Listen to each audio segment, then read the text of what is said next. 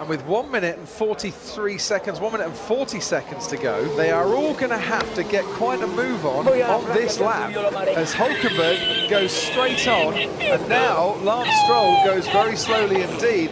And I tell you what, Martin, this could be a bit touch and go for actually making it to the line here. That someone's going to have to make a charge in a moment, Got to go. or someone's not going to get to the checkered flag in time and start their final lap. And they're all queuing up here. Well, none of them will get to the checkered flag at this pace. I- At this pace. I don't think they will.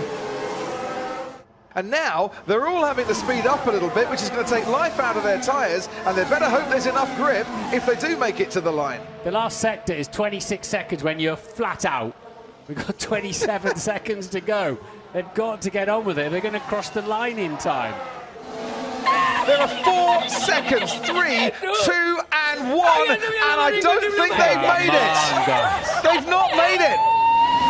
Carlos Sainz has made it. Carlos Sainz can complete his lap. The rest of them didn't get to the line in time to start their final flying lap, which means Charles Leclerc is on provisional pole unless Carlos Sainz can beat him.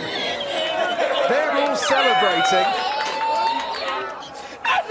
Toto Wolff does not look amused, even though Hamilton and Bottas will line up second and third.